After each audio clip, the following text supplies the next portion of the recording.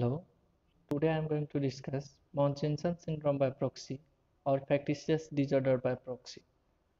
In the picture, you can see a prominent figure, an American rapper, Eminem, who was also a victim of Munchausen syndrome by proxy by his own mother during his childhood.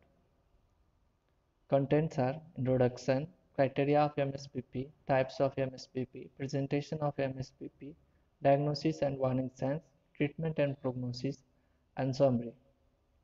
Introduction Munchausen syndrome was first described by Dr. Richard Asher in 1951. In Munchausen syndrome, the sufferer or the patient tend to feign disease or produce false symptoms or induce illness in themselves to gain attention and sympathy. While in Munchausen syndrome by proxy, it is a psychological disorder in which parent or caretaker attempts to bring medical attention to themselves by injuring or in inducing illness in their children. That is, in Munchausen syndrome by proxy, the pain is inflicted by caretaker or the parent in the child, not in themselves. Dr. Roy Meadow, who was an English pediatrician, first coined the term Munchausen syndrome by proxy in 1977 to describe the preservation of deception in regard to the child. He described it as a form of child abuse. It was named after a German dignitary named Baron von Munchausen, who was known for telling outlandish stories, that means bizarre or over-exaggerated stories. Munchausen syndrome and Munchausen syndrome by proxy are different terms. In Munchausen syndrome, the patient feign disease or sickness in order to draw attention and gain sympathy, while in Munchausen syndrome by proxy, the pain is inflicted through the caregiver or parent to gain sympathy or attention. So, by proxy means through a substitute, that is, through another person. Munchausen syndrome Victim has history of sexual, physical or emotional abuse, poor self-esteem. They are young to middle age. They are willing to take great measures like heat thermometer, self-inject toxins and undergoing test and surgery although not necessary. The person himself injure or produce sickness or produce false symptoms to gain attention. But in Munchausen syndrome by proxy, they abuse the child or induce or illness or cause harm to the child so they can get attention and sympathy that they are taking care of the children. They are taking the children to the hospital but they are only hiding their anxiety and want to gain attention. While Munchausen syndrome by proxy is a child abuse with the Munchausen syndrome by proxy, the person suffering from factitious disorder will force someone else in the patient role. They do not become themselves as a patient. But in Munchausen syndrome, the they become the, themselves as a patient role or a sick role.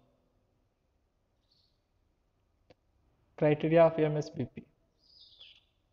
It was given by American Psychiatric Association. The first criteria is intentional production or faking of physical or psychological symptoms in persons under one care.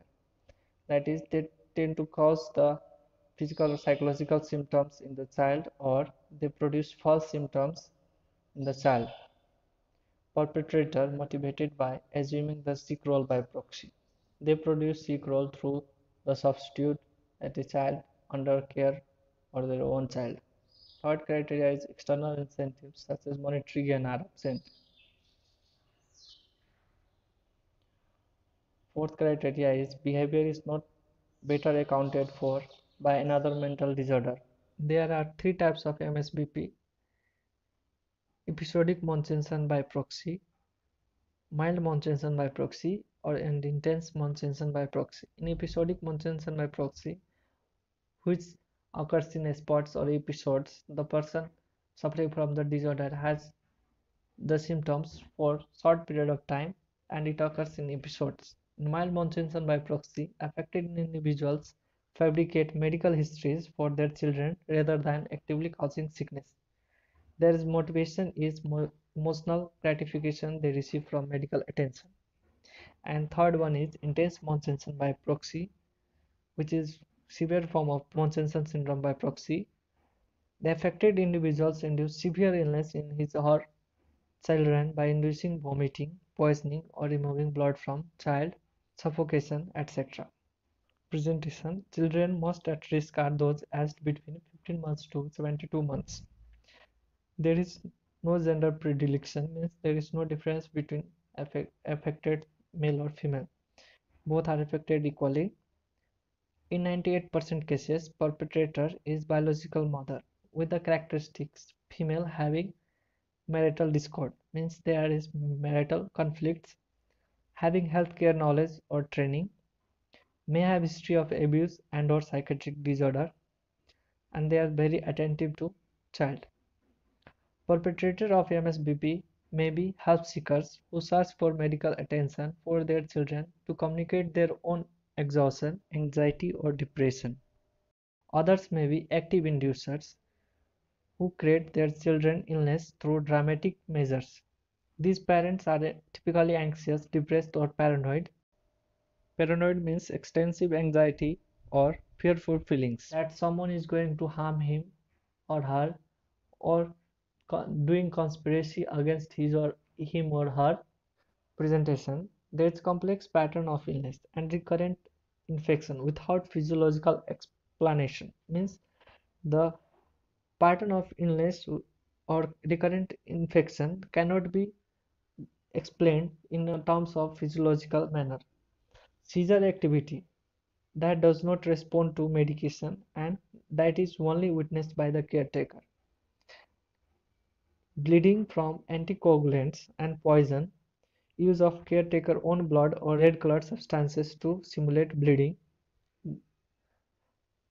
vomiting precipitated by ipecac administration, diarrhea induced by laxatives or salt administration, hypoglycemia from administration of insulin or hypoglycemic agents, rashes from caustic substances applied to skin, hematuria that is bleeding in urine or rectal bleeding from trauma, recurrent apparent life-threatening events from purposeful suffocation.